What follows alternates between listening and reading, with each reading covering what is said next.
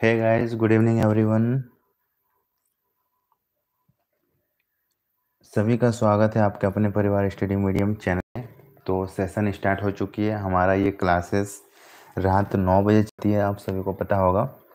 तो सभी लोग फटाफट पहले लाइक कर दें और जो पहली बार हमारे चैनल में आए हैं, चैनल को सब्सक्राइब करें क्योंकि आपको पता चलेगा ये नर्सिंग का बेस्ट चैनल आपको कंटिन्यूसली क्लासेस मिलेगी जब तक आपका एग्ज़ाम नहीं हो जाता। है और हम एक सीरीज़ चला रहे हैं डेली रात नौ बजे सेशन, जिसमें हम लोग चुने हुए क्वेश्चंस लाते हैं सिलेक्ट कर करके जो आपके एग्ज़ाम के लिए वेरी इंपॉर्टेंट साबित होता है। तो अगर ये पूरा सीरीज़ आप देखते हो, हमारे साथ एग्ज़ाम तक बने रहते हो तो आपका बहुत ज़्यादा क्वेश्चंस आपके एग्ज़ाम में यहीं से देखने को मिलेगा ओके इसके अलावा अगर आपको पेड कोर्स लेना है, अच्छे से चैप्टर वाइज पूरा कंसेप्ट वाइज समझ के पढ़ना है तो आप हमारे ऐप को डाउनलोड कीजिए। ऐप का नाम है स्टडी मीडियम। प्ले स्टोर में आपको मिल जाएगा। और लिंक भी हमने डिस्क्रिप्शन बॉक्स में दे रखा है। वहाँ पे आपको क्लासेस दिख जाएगी। तो उसको जाके आप डाउनलोड करके अपना जो कोर्स है, वो परचेज कर सकते हैं। बहुत ही सस्ती आपको मिलेगी पूरा एक साल तक का। उसके अलावा हमारे ऐप में बारह हज़ार क्वेश्चन बैंक। ठीक है? ये सबसे इम्पोर्टेंट है, जो आपको कहीं भी देखने को नहीं मिलेगा। ठीक है? बारह हज़ार क्वेश्चन बैंक जो कि सारे क्वेश्चन सिलेक्टेड और प्रीवियस ईयर में पूछे गए ज़्यादा रिपीट होने वाले क्वेश्चंस को लेकर बनाया गया है। और ये आपको हमारे ऐप में मिलेगा। अगर आप इसको पढ़ लेते हो तो गारंटी है कि इससे बाहर एक भी क्वेश्चन नहीं पूछेगा। ठीक है? अधिक जानकारी के लिए इस नंबर पे आप कॉल या व्हाट्सएप कर सकते हो और डायरेक्टली ये पीडीएफ या कोर्स परचेज करने के लिए इस नंबर पे डायरेक्ट पेमेंट करके इस नंबर पे कॉल कर देना। आपको कोर्स मिल जाएगी। तो सभी को good evening welcome welcome welcome welcome Priyanshi, Poonam, Phuggu, Duggu, सभी को वेलकम तो हम लोग करते हैं क्लास को स्टार्ट और इस क्लास के एंड में एक छोटा सा टेस्ट लेंगे। तो ध्यान से क्लास को देखना, ठीक है? चलिए तो पहला क्वेश्चन को बढ़ते हैं। तो पहला क्वेश्चन आपके स्क्रीन पे आ चुका है। जीवाणुओं के गुणसूत्रों की संख्या कितनी होती है? जीवाणुओं के गुणसूत्रों की संख्या कितनी होती है? एक, दो, तीन, चार। सो कमन आंसर दीजिए। हाँ सभी को गुड इवनिंग वेलकम सभी को। सेशन अगर पसंद आए तो लाइक कर दीजिएगा और जितने भी फ्रेंड है सबके साथ शेयर ज़रूर कीजिएगा। ठीक है? जितना ज़्यादा आप लोग शेयर करोगे क्लास उतनी ही तगड़ी होने वाली है और उतना ही ज़्यादा क्लासेस लगेगी। अभी एक क्लासेस हो रही अगर स्टूडेंट बहुत ज़्यादा आप लोग शेयर कर देते हो तो क्लासेस की संख्या दिन में दो हो जाएगी। और उससे भी ज़्यादा अगर करते हो तो तीन, चार, पाँच, इस तरह से आप लोग पे डिपेंड कर रहा है कि एक दिन में कितनी क्लासेस आप लोगों को चाहिए, ठीक है? चलिए, इसका आंसर देंगे सभी।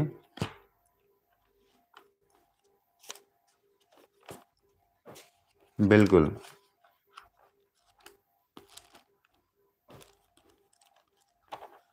करेक्ट है? या। तो डुगू एकदम बिल्कुल करेक्ट आंसर दे रही है। जीवाणुओं के गुणसूत्रों की जो संख्या होती है, वो एक होती है।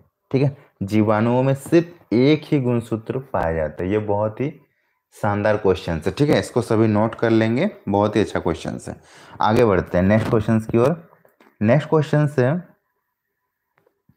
वे जीवाणु जो रेफ्रिजरेटर में भी ज़िंदा रह सकते हैं और अपना जो विषाक्त पदार्थ है, वो उत्पन्न कर सकते उस विषाणु का नाम, वो सॉरी उस जीवाणु का नाम आपको बताना है। E coli Clostridium botulinum Salmonella या फिर स्ट्रेप्टोकोकस फिकेलिस तो ये सभी जीवाणु के नाम हैं और आपको बताना है कि कौन सा जीवाणु है जो रेफ्रिजरेटर की इतनी ठंडी होने के बावजूद भी वो ज़िंदा रह सकते हैं और अपना काम कर सकते हैं। हाँ बिल्कुल सही है। प्रियांश एकदम करेक्ट है। बिल्कुल। रूबी पटेल करेक्ट है। Dugu very good very nice Prasad Markam, sir, पिछली बार तो हाँ। ओके तो इसका करेक्ट आंसर हो जाएगा ऑप्शन बी कॉलेस्टेडियम वेटुलम ठीक है? नेक्स्ट क्वेश्चन की ओर बढ़ते हैं और नेक्स्ट क्वेश्चन से कुछ समय पहले तक जब रेफ्रिजरेटर नहीं होते थे तो दिन में दो तीन बार दूध को गर्म किया जाता था और ताकि वो फटे नहीं। तो ऐसा क्यों किया जाता था? ऑप्शन ए दूध की प्रोटीन को विकृत होने से रोकने के लिए। ऑप्शन बी लैक्टोवेसिलस जीवाणुओं को मारने के लिए ऑप्शन सी दूध का पाश्चरीकरण करने के लिए ऑप्शन डी उपरोक्त सभी के लिए।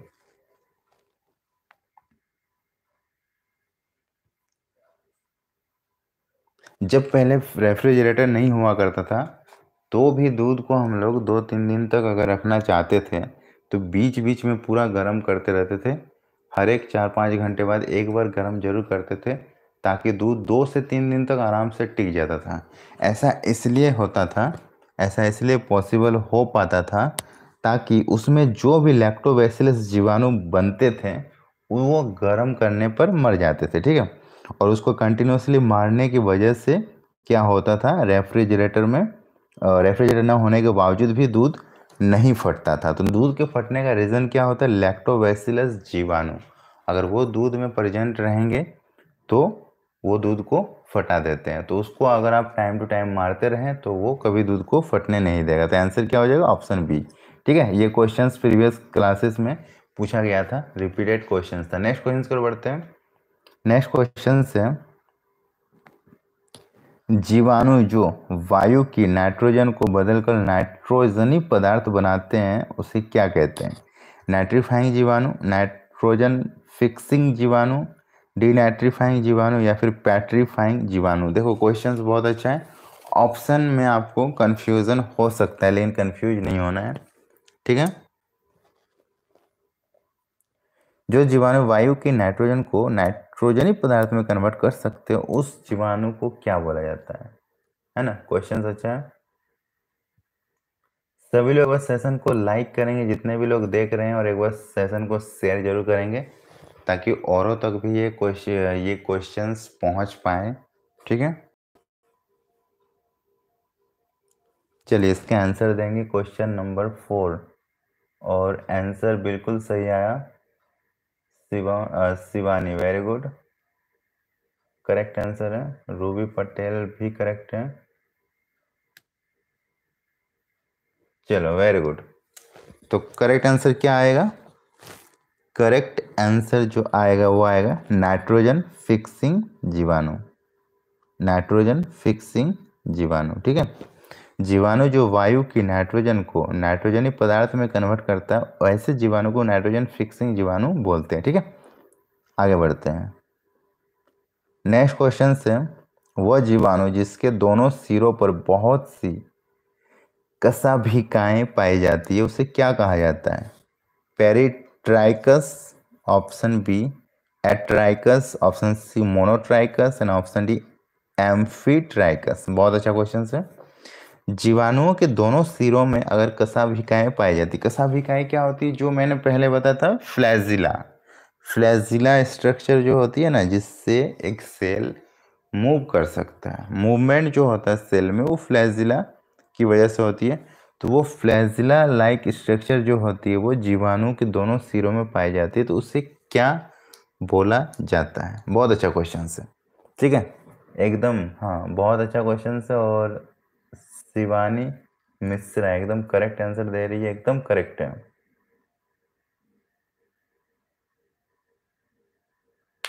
वेरी गुड बहुत अच्छा क्वेश्चन का, बहुत अच्छा आंसर आ रहा है। रूबी पटेल करेक्ट है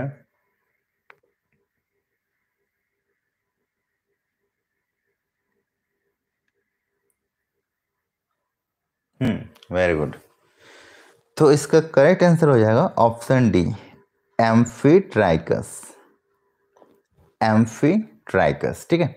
देखो, ये क्वेश्चंस एक, खुद में बहुत ही तगड़ा क्वेश्चन है इसको सभी लोग नोट कर लेंगे या फिर स्क्रीनशॉट ले लेंगे, ठीक है? जो जीवाणु के दोनों सिरों में फ्लैजिलम पाई जाएगी, वो जीवाणु एम्फीट्राइकस कहलाएगी, ठीक है? बहुत अच्छा क्वेश्चन है। आगे बढ़ते हैं। नेक्स्ट क्वेश्चन है विषाणु जनित रोग कौन से आपको बल्क में ऑप्शन मिलेंगे तो कौन सा ऑप्शन में सभी रोग एक वायरस से होता है? ठीक है? ऑप्शन है influenza measles mumps option B chicken pox small pox option C polio hydrophobia and option D सभी।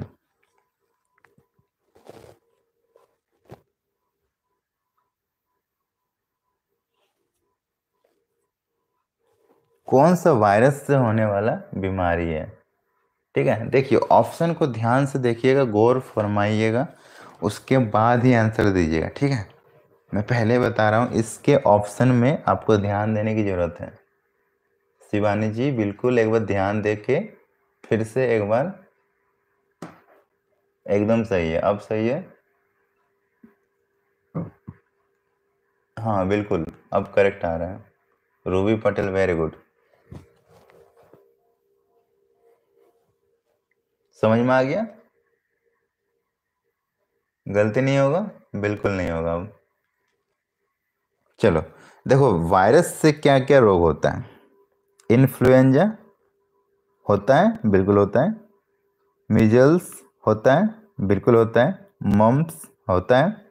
चिकन पॉक्स तो होता ही है, स्मॉल पॉक्स भी होता है। उसके बाद पोलियो, ये भी वायरस से होता है, और हाइड्रोफोबिया, जो कुत्ते के काटने से होता है, ये भी होता है। तो यहाँ पे जितने भी ऑप्शन हैं, सभी के सभी वायरस जनित रोग हैं। एक साथ आप इसको नोट डाउन कर लेंगे वायरस से ये सभी रोग होते हैं, इसका आंसर हो जाएगा ऑप्शन डी इनमें से सभी ओके नेक्स्ट क्वेश्चन की ओर बढ़ते हैं और नेक्स्ट क्वेश्चन से नाइट्रीफाइंग जीवाणु क्या करते हैं? अमैया यौगिकों का नाइट्रेट में परिवर्तन ऑप्शन बी नाइट्रेट का नाइट्रोजन में परिवर्तन ऑप्शन सी नाइट्रोजन का नाइट्रेट में परिवर्तन या फिर CO2 का कार्बोहाइड्रेट में परिवर्तन। जो नाइट्रीफाइंग जीवाणु होते हैं, वो मोस्टली क्या करते हैं? देखो, ये क्वेश्चंस भी हमने एक बार एक्सप्लेन किया था। तो अगर आप वो क्लासेस देखे होंगे, इससे पहले वाले के पहले वाले क्लासेस में मैंने इसको बताया था। ठीक है? हाँ बिल्कुल। शिवानी वेरी गुड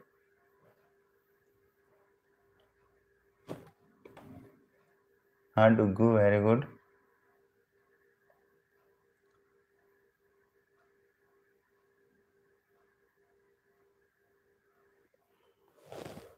मैंने इसको बताया था, ठीक है? डुगू करेक्ट है। नहीं, शिवानी, देखो, इसको मैंने अच्छे से बताया हुआ था। कि नाइट्रीफाइंग जो जीवाणु होते हैं ना, वो एक्चुअली नाइट्रेट में तो परिवर्तन करता है, लेकिन किसको? किसको? अमोनिया को।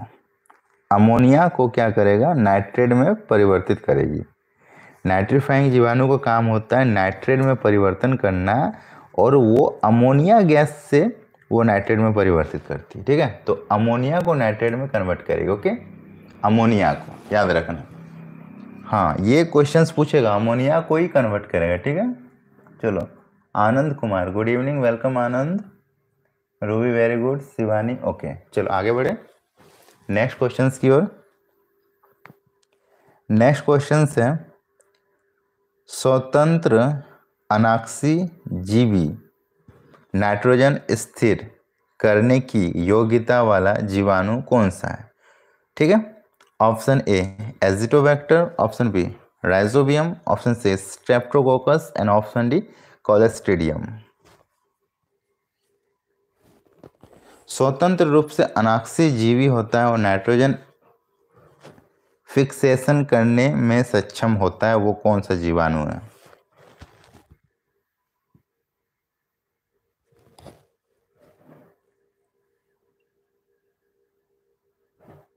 नहीं। ध्यान से देखिए क्वेश्चन एक बार और देखिए। स्वतंत्र अनाक्सी जीवी होता है, नाइट्रोजन फिक्सेशन करने में मदद करता है।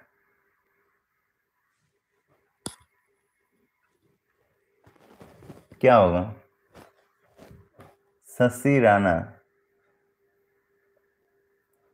सब होती है शशि राना प्लेलिस्ट में चेक कीजिए, आपको सब मिल जाएगा।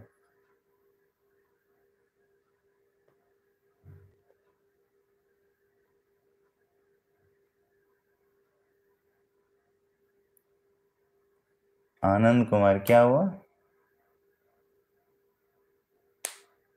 हाँ बिल्कुल।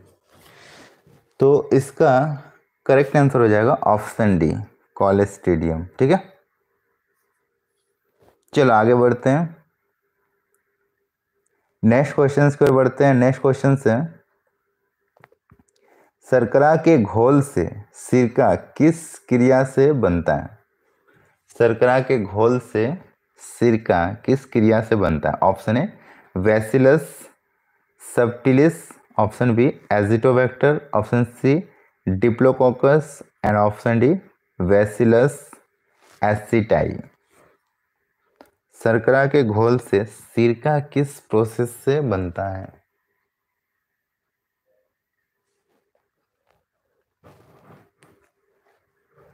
हम्म बिल्कुल सही है शिवानी। करेक्ट है शशि शिवा आपका रॉन्ग है। हाँ बिल्कुल। देखो सरकरा के घोल से सिरका जो बनने का प्रोसेस होता है, वो है बेसिलस एसिटाई ठीक है? इसी प्रोसेस से सिरका का फॉर्मेशन होता है। ध्यान रखना। बिल्कुल। चलो, आगे बढ़ते हैं नेक्स्ट क्वेश्चन की ओर।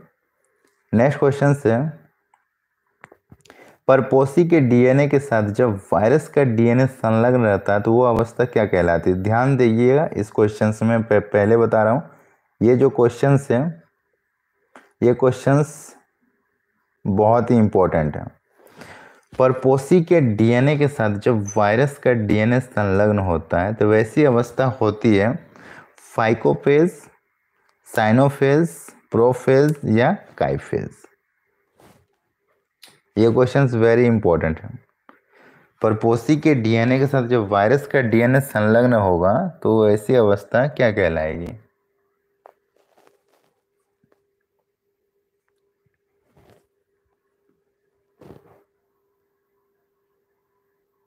बताइए।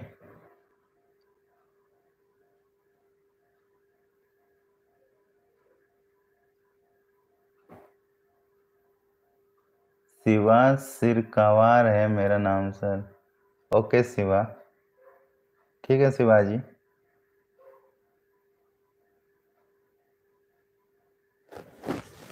हम्म तो ये परपोसी के डीएनए के साथ जब वायरस का डीएनए संलग्न रहता है तो वह अवस्था कहलाती है prophase.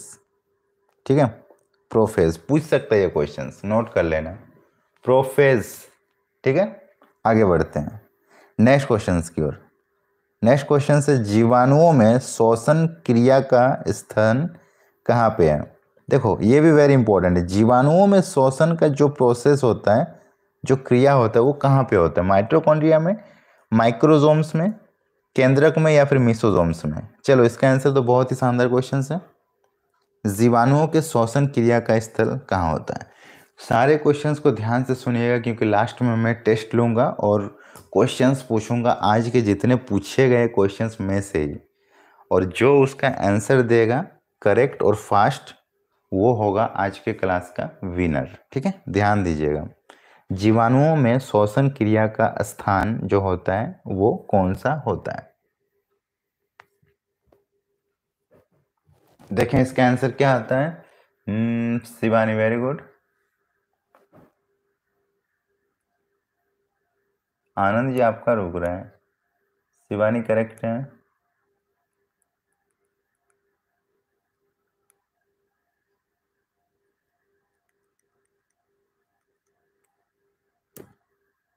Very good very good Ruby Patel very good very good तो जीवाणुओं में जो शोषण क्रिया होती है, वो मिसोजोम्स में होती है। तो ये इसका आंसर हो जाएगा ऑप्शन डी ठीक है? माइट्रोकॉन्ड्रिया जो होती है, वो वो भी शोषण का ही स्थल होता है, लेकिन किसका होता है? तो आप बोलोगे यूकैरियोटिक सेल का, ठीक है? यूकैरियोटिक सेल का। और मिसोजोम्स में प्रोकैरियोटिक सेल, क्योंकि जो जीवाणु होते हैं वो प्रोकैरियोटिक में आते हैं, यूकैरियोटिक में नहीं आते, ओके?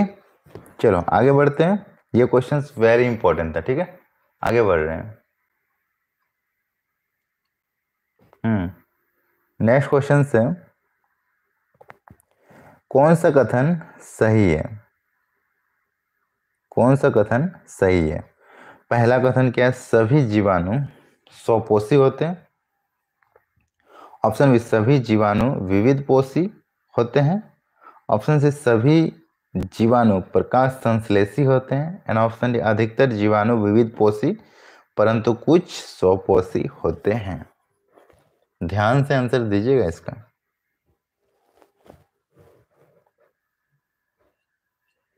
बैक्टीरिया के बारे में बात हो रहा है और बैक्टीरिया का जो नेचर होता है, वो किस प्रकार का होता है, ये पूछा गया है। ठीक है? हम्म शिवानी जी वेरी गुड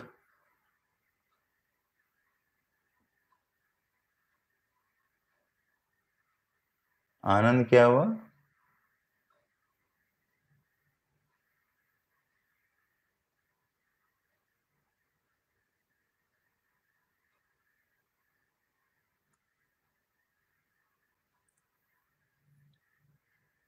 आनंद कोई आपको नहीं बोला है, ठीक है? चलिए, इसका आंसर देंगे सभी। बिल्कुल, कौन सा कथन सही है? तो बैक्टीरिया में, जो बैक्टीरिया में मैक्सिमम बैक्टीरिया अगर आप देखोगे, विविध पोषी होता है, ठीक है? लेकिन कुछ बैक्टीरिया स्वपोषी होता है, और कुछ में कौन आएगा? पहले तो देख लीजिए, ये ऑप्शन आपका सही होने वाला है। जो कुछ बैक्टीरिया यहाँ पे बोला जा रहा है, कुछ बैक्टीरिया जो है, वो आपका स्वपोषी होगा। तो ये कौन सी बैक्टीरिया का बात हो रहा है? तो ये साइनो बैक्टीरिया का बात हो रहा है, ठीक है? साइनो। Cyanobacteria. जो साइनो बैक्टीरिया होता है, वो स्वपोषी होता है। और इसी को हम लोग बोलते हैं क्या? नील, हरित सेवाल ठीक है? नील हरित सेवाल तो वो स्वपोषी होता है, जबकि वो भी एक बैक्टीरिया है। उसके वजह से कुछ बैक्टीरिया को स्वपोषी माना गया और बाकी जितने भी बचते हैं, सभी विविध पोषी के अंडर आते हैं, ठीक है? चलो आगे बढ़े। नेक्स्ट क्वेश्चन की ओर। बिल्कुल। नेक्स्ट क्वेश्चन है बोटुलिज्म क्या है? बोटुलिज्म क्या है? एक प्रकार का भोजन दूषण जो जीवाणु द्वारा होता है। ऑप्शन बी, मनुष्य में परजीवी जीवाणु, जनित रोग। ऑप्शन सी, विभिन्न जीवों का रोग। एंड ऑप्शन डी पादपों में विषाणु के कारण रोग। तो बोटुलिज्म क्या होता है? बोटुलिज्म क्या होता है? हाँ बिल्कुल शिवानी एकदम करेक्ट है। बिल्कुल डूबो हाँ ब्लू ग्रीन एलगी बिल्कुल सही है, Ruby Patel very good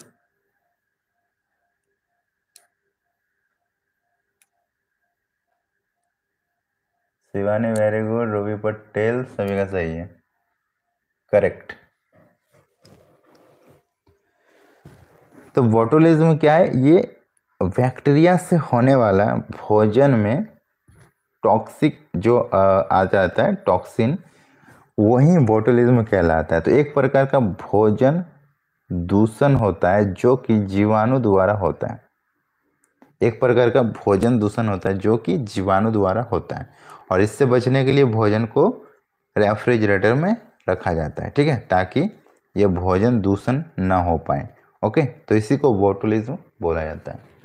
चलो, सभी का सही था वेरी गुड आगे बढ़ते हैं नेक्स्ट क्वेश्चन की ओर। नेक्स्ट क्वेश्चन है। जीवाणु जो मृदा की उर्वरता को कम कर देता है, वो क्या है?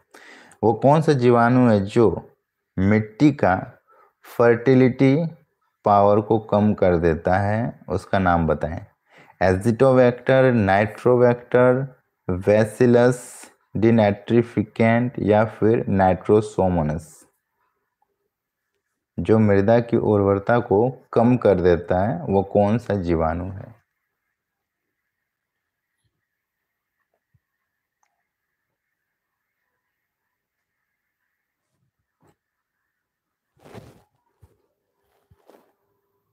हम्म very good very good Shiva very good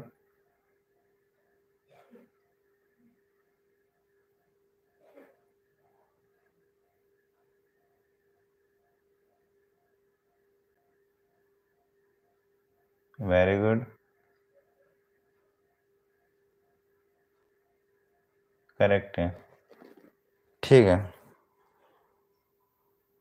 तो इसका देखो करेक्ट आंसर जो होगा ना एक्चुअली देखो यहाँ ध्यान दो। यहाँ पे क्वेश्चंस में ही आंसर छुपा हुआ है। मृदा की फर्टिलिटी जो उर्वरता होती है, उसको कम किया जा रहा है, ठीक है? मृदा की उर्वरता को कम कर रहा है।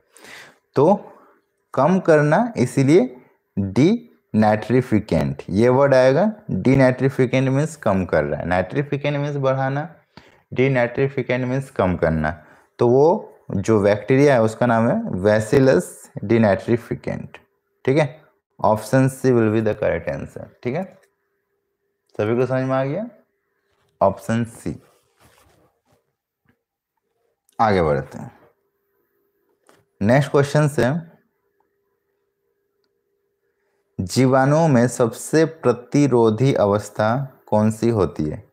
कैप्सिल युक्त काइक कोशिका, option B endospore, option C merozygote and option D नई द्विविभाजित कोशिका।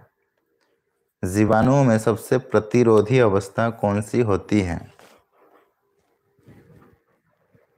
जीवाणुओं में सबसे प्रतिरोधी अवस्था कौन सी होती है?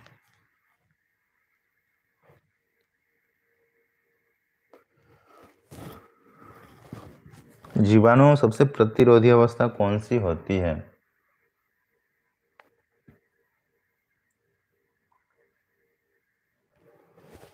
बिल्कुल।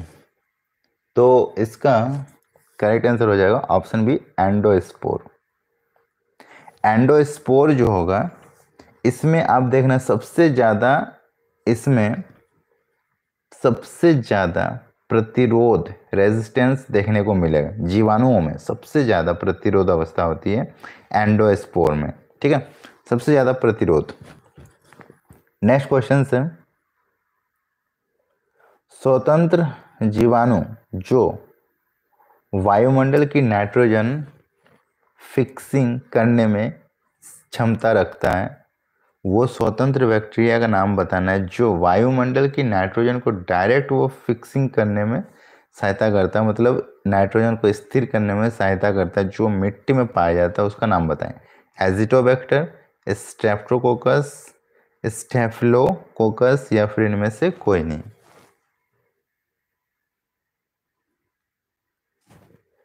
हम्म अब इसका आंसर बताना है, जो आप लोग पिछला वाला क्वेश्चंस में आंसर दे रहे थे। अब यहाँ पे उसका आंसर होगा।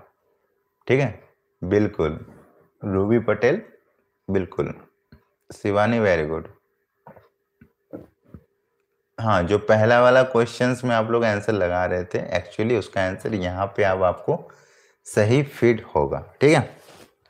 जो स्वतंत्र जीवाणु होता है, वायुमंडल से डायरेक्ट वो नाइट्रोजन को फिक्सेशन कर सकता है, उसका नाम है एजिटोवैक्टर तो जिनका भी ऑप्शन ए आंसर आ रहा है, बिल्कुल सही है। हाँ बिल्कुल। हाँ वेरी गुड आगे बढ़ते हैं। नेक्स्ट क्वेश्चन से जीनोफोर नाम है। जीनोफोर नाम है। यूकैरियोट्स के डीएनए का ऑप्शन बी जीवाणु के डीएनए का ऑप्शन सी ड्रोसोफिला के जीन्स का एंड ऑप्शन डी न्यूरोस्फोरा की जीन्स का। जीनोफोर नाम है। जीनोफोर नाम है। जीनोफोर किसका नाम है?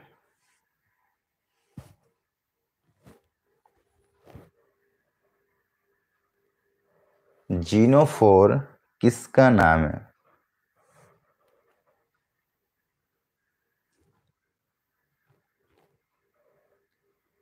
देखो, ध्यान से आंसर देना क्वेश्चन अच्छा है। जीनोफोर किसका नाम है?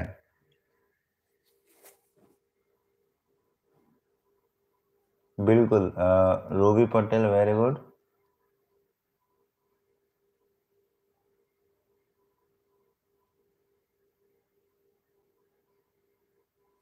very good तो जीनोफोर जो होता है, वो जीवाणुओं के डीएनए का ही नाम होता है, ठीक है? जीवाणु का जो डीएनए होता है उसी को जीनोफोर बोला जाता है, ठीक है? अच्छा क्वेश्चन से। चलो, आगे बढ़ते हैं। नेक्स्ट क्वेश्चन से ग्राम पॉजिटिव जीवाणु में कोशिका भित्ति किसकी बनी?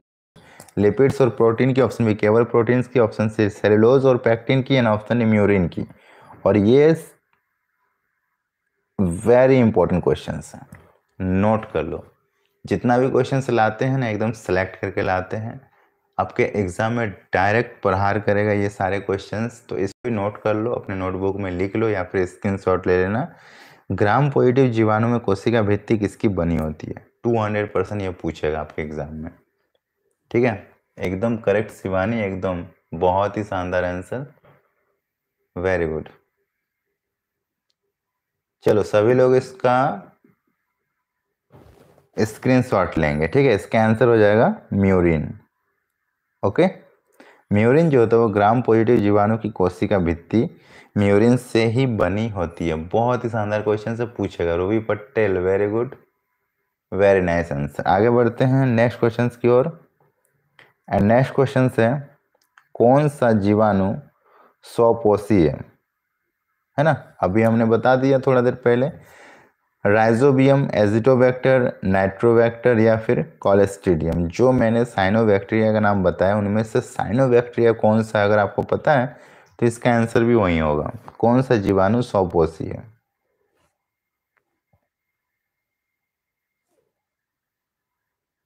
कौन सा जीवाणु सपोषी थोड़ा देर मैंने बताया कि मैक्सिमम जीवाणु जो होते हैं विविध पोषी होते हैं, लेकिन कुछ जीवाणु सपोषी होते हैं और वो स्वपोषी में कौन आते हैं? साइनोबैक्टीरिया आते हैं, ठीक है? नील हरित सेवाल जिसको आप लोग बोल रहे थे। तो यहाँ पे चार ऑप्शन जो दिया हुआ उनमें से एक नील हरित सेवाल है। और अगर आप उसको खोज लिए हो तो इसका आंसर भी वही होगा। बताएँ। बहुत ही सिंपल क्वेश्चन है।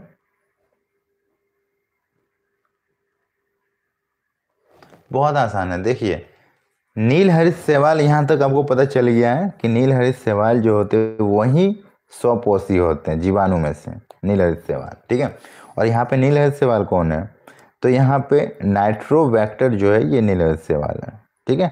ये ब्लू, ग्रीन, एलगी है।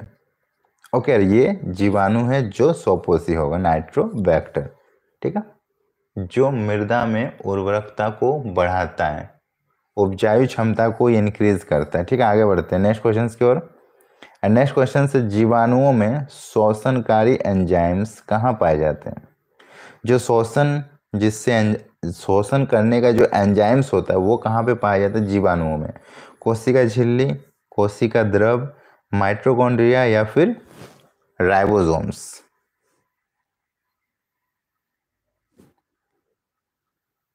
चलिए अच्छा क्वेश्चन है।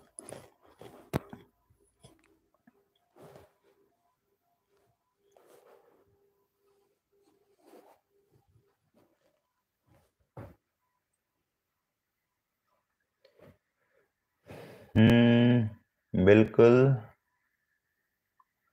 शिवानी जी, एकदम करेक्ट आंसर आ रहा है। Ruhi Patel very good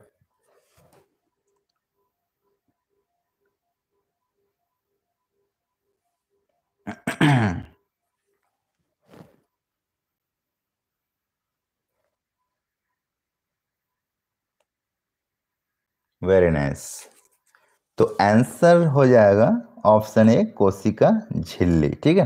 जीवाणुओं में जितने भी शोषण का काम होता है, वो कोशिका झिल्ली में ही होता है, क्योंकि जी, जीवाणु के अंदर माइट्रोकॉन्ड्रिया नहीं पाया जाता है।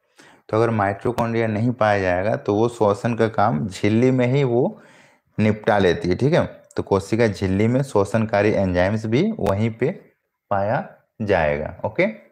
चलो अब लेते हैं हम लोग छोटा सा टेस्ट, देखते हैं आज के जितने भी क्वेश्चंस में से सभी क्वेश्चंस आपके दिमाग में बैठा है कि नहीं बैठा है, उसको चेक करने का ये तरीका है।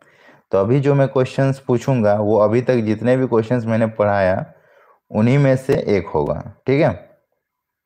और आपको आंसर देना जो करेक्ट आंसर देगा और पहले आंसर देगा, वही आज के क्लास का विजेता बनेगा ओके तो क्वेश्चन है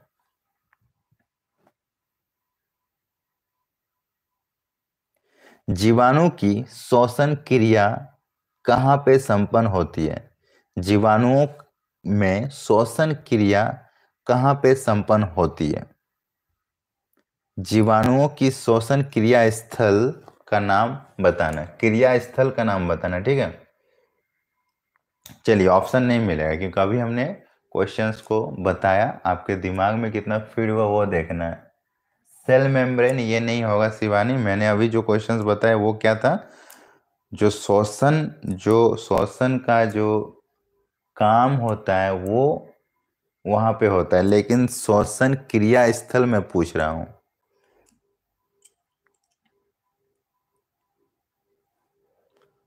ठीक है? श्वसन क्रिया स्थल एक तरफ़ से आप समझ लो कि जो सेल मेम्ब्रेन आप बोल रहे हो ना, वो तो पूरा एरिया हो गया, लेकिन उसमें कहा? इतना आप जान लो। जो आप सेल मेम्ब्रेन की बात कर रहे हो सेल मेम्ब्रेन तो पूरा एरिया हो गया जहाँ पे शोषण की क्रिया को वो अंजाम दे रहा है। लेकिन एक्चुअली शोषण की क्रिया स्थल कौन सा है? कौन सा स्थल पे वो काम हो रहा है?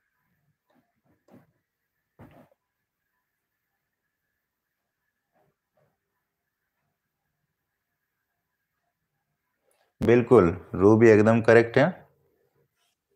बिल्कुल, रूबी जी, आपका एकदम करेक्ट हाँ शिवानी आप सही आ रहा है। तो रूबी जी, इनका एकदम करेक्ट आंसर दे रहे हैं। इसका करेक्ट आंसर हो जाएगा ऑप्शन ऑप्शन तो मैंने दिया नहीं था। इसका करेक्ट आंसर हो जाएगा मिसोजोम्स ठीक है? मिसोजोम्स तो रूबी जो है, इस क्वेश्चंस का विनर घोषित होती है, ठीक है? अब एक और चांस मिलेगा। एक और क्वेश्चंस में पूछने वाला हूँ। अब देखते हैं इसका विनरशिप कौन लेता है। तो नेक्स्ट क्वेश्चन है। ग्राम पॉजिटिव जीवाणु की सेल वाल किससे बनी होती है? ग्राम पॉजिटिव जीवाणु का सेल वाल किसकी बनी होती है? कोशिका भित्ति किसकी बनी होती है? Ruby Patel, again correct, very good. Perfect Ruby Patel, एकदम। वेरी गुड शिवानी, आपका भी सही है, लेकिन फ़र्स्ट आंसर वाले को ही हम लोग विनर घोषित करते हैं तो इसका करेक्ट आंसर हो जाएगा म्यूरिन, ठीक है? म्यूरिन। और रूबी पटेल ने दोनों ही क्वेश्चंस का आंसर एकदम पहले और सटीक दिया, इसलिए आज के क्लास का जो विनर है, वो है रूबी पटेल, ठीक है? थैंक यू वेरी मच तो इसी तरह हम लोग डेली रात नौ बजे क्लासेस लेंगे, सभी लोग हमारे साथ ज़रूर जुड़ना और जितने भी आपके फ्रेंड हैं, सभी के साथ शेयर ज़रूर करना। पसंद तो आया ही होगा, बिल्कुल। तो लाइक ज़रूर कर दीजिएगा, ठीक है? और अगर आपको हमारा पेड कोर्स ज्वाइन करना है तो हमारे ऐप को पहले डाउनलोड कर लीजिए। ऐप का नाम है स्टडी मीडियम ठीक है? प्ले स्टोर में मिल जाएगा, या फिर इसका लिंक मैंने डिस्क्रिप्शन बॉक्स में दे रखा हूँ। वहाँ पे आप जाओगे तो आपको कोर्स दिखेगा।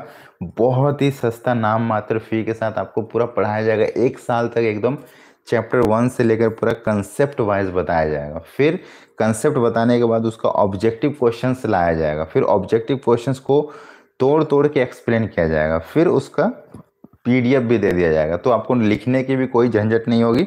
उसके बाद डाउट सेशन लाया जाएगा। फिर रिवीजन क्लासेस होगी। ठीक है? फिर टेस्ट होगा। फिर प्रीवियस ईयर होगा क्लासेस फिर मॉक सेट होगा। इस तरह से इतने तरीके से हम लोग पढ़ने वाले हैं कोर्स में। तो अगर ये कोर्स आपको ज्वाइन करना है तो फटाफट हमारे ऐप में जाना, ठीक है? अधिक जानकारी के लिए इस नंबर पे कॉल या व्हाट्सएप करना, आपको पूरा जानकारी मिल जाएगा। कोर्स बहुत ही सस्ती आपको मिलती है हमारे ऐप में। इसके अलावा आपको हमारे ऐप में एक क्वेश्चंस बैंक मिलेगा, जो कि आपको दुनिया में कहीं भी देखने को नहीं मिलेगा। मैं पहले बता दूँ, कोई बुक्स में भी आपको नहीं मिलेगा। वो है बारह हज़ार क्वेश्चन बैंक बारह हज़ार ऑब्जेक्टिव क्वेश्चंस बैंक है, जिसको चुन चुन के बनाया गया है। एक एक क्वेश्चंस को सिलेक्ट कर करके उसमें डाला गया है, ठीक है? और ये एक एडवांस लेवल का क्वेश्चंस बैंक है। अगर आप इसको कंप्लीट पढ़ लेते हो तो इससे बाहर एक भी प्रश्न नहीं पूछेगा गारंटी है। तो सभी लोग इस क्वेश्चंस बैंक को ज़रूर लें। ये क्वेश्चंस बैंक भी कहाँ मिलेगा? हमारे ऐप में ही मिलेगा। और उसके लिए आपको इस नंबर पे कॉल या व्हाट्सअप करना पड़ेगा, ठीक है? ये हमारा नंबर है। इस नंबर पे कॉल या व्हाट्सअप कीजिए, आपको क्वेश्चंस बैंक के बारे में भी पता चल जाएगा और कोर्स के बारे में भी पता चल जाएगा, ठीक है? छोटी मोटी एक प्राइस लगती है, जो कि इसका कॉस्ट, बनाने का कॉस्ट है, वहीं लिया जाता है और कुछ नहीं, ठीक है? तो आप लोग आसानी से इसको ले सकते हो।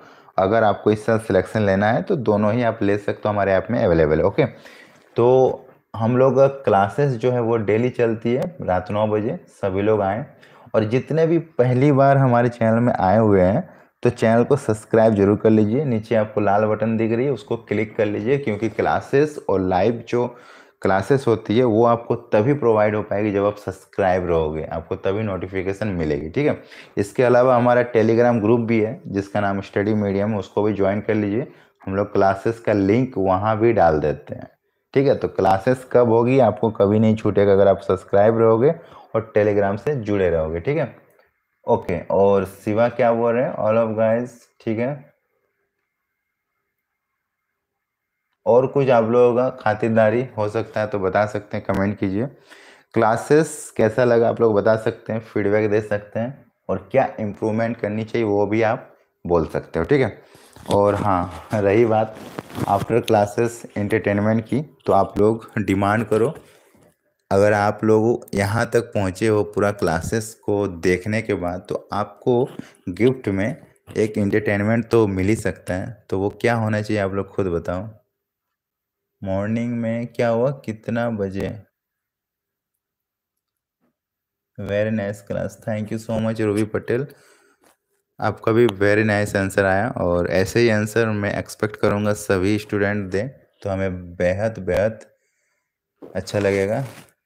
मस्त teacher Babu. Thank you so much Dugu. चलिए तो एक एंटरटेनमेंट के नाम पे एक छोटा सा सॉन्ग हो जाएगा, चार लाइन जो कि इसको चार लाइन नहीं, दो लाइन बोल सकते हैं, क्योंकि बहुत ही छोटा सा क्लिप है, जिसको मैं आपके सामने गा के सुनाने वाला हूँ। अच्छा लगे तो बिल्कुल हाँ सॉन्ग हो जाए, बिल्कुल, मुझे पता था, यही कमेंट आएगा। तो यही कर रहे हैं। शिवानी वेरी गुड वैसे आप लोगों का डिमांड है तो बता सकते हैं कौन सा सॉन्ग आपके डिमांड पे ही गा सकते हैं। अगर आप नहीं बताओगे तो कुछ भी जो दिमाग में आए। Ruby Patel yes sir nice, awesome sir, very good. तो वैसे तो गला खराब है, लेकिन दो लाइन मैं आपके लिए गाना चाह रहा हूँ, ठीक है? ध्यान से सुनिएगा। हो चेहरा है या चाँद खिला है, जुल्फ घनेरी शाम है क्या? सागर जैसी आँखों वाली।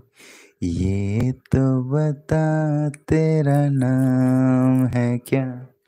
Thank you so much hi sir ji. आपने तो दिल की बातें बोल दी। नहीं, ऐसा कुछ नहीं है। सॉन्ग है, इसको बस सॉन्ग की तरह ही लेना है। दिल पे नहीं लेना है, ठीक है? तो ये तो बस आप लोग क्लास को एंड तक देखने का गिफ्ट मिलता है जो कि रोज़ मिलेगा। तो आप लोग डिमांड भी कर सकते हो कि गिफ्ट में आप लोगों को क्या चाहिए आपका पसंद का गिफ्ट वो होगा तो वो भी मैं आपको प्रोवाइड करा सकता हूँ ठीक है? तो हमारा जो क्लासेस है डेली रात नौ बजे चलती है सभी लोग ज्वाइन होना और सभी को शेयर करना। जितने भी नए स्टूडेंट आए चैनल को सब्सक्राइब कर लीजिएगा ज़्यादा से ज़्यादा एक बार लाइक कर देना ठीक है? मिलेंगे कल इसी टाइम हम लोग। सर आ, मैं एक सॉन्ग बोलूँ। कौन सा फुग्गू बताओ। अब एक ही तो होना चाहिए ना डेली अब, एक से ज़्यादा। अच्छा बताओ।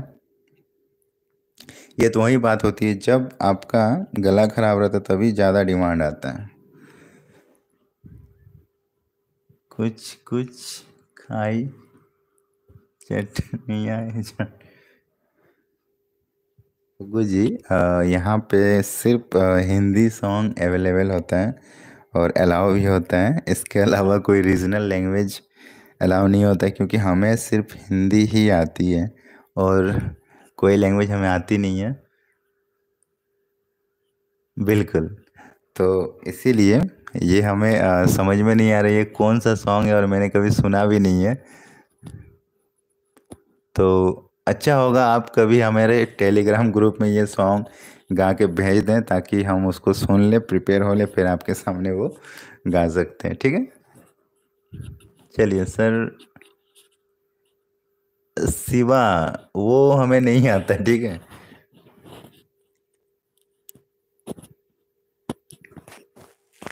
कुछ हिंदी में हो तो आप बोल सकते हैं।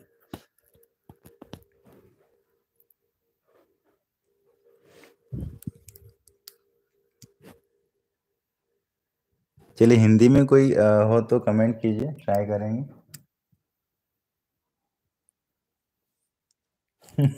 मोहनजोली का। वो भी अलग लैंग्वेज का था।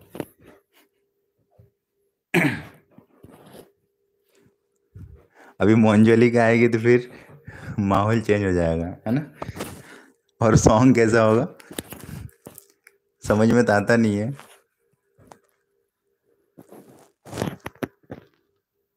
ओके शिवानी। भजन हो जाए।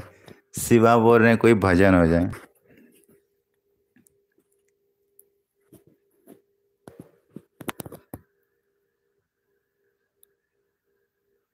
शिवाजी भजन जो है ना सुबह सुबह सुनना चाहिए रा, रात को नहीं।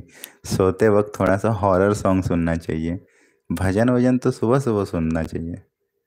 रात में थोड़ा भूतों का सॉन्ग सुनना चाहिए, ताकि दोनों बैलेंस रहें। सुबह भगवान रात में भूत, है ना?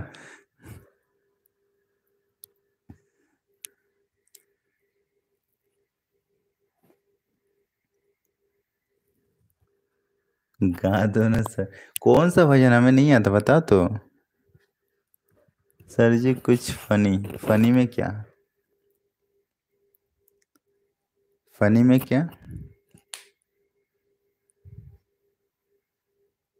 आप लोग बस कमेंट कर रहे हो, लेकिन सजेस्ट नहीं कर रहे हो। सजेस्ट करोगे तभी तो कुछ हो पाएगी।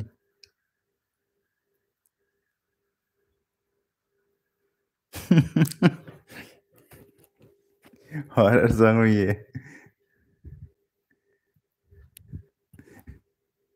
गुमनाम है कोई। अभी रात की नींद नहीं उड़ाना है सभी का। ऐसा सॉन्ग नहीं सुनना चाहिए डुगू जी, नहीं तो फिर क्या होगा ना कि रात की नींदें उड़ जाएगी।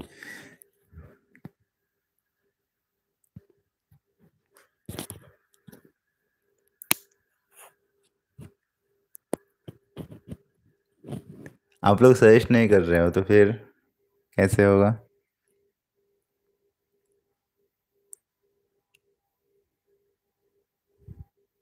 चलिए फिर कल ट्राई करेंगे, है ना?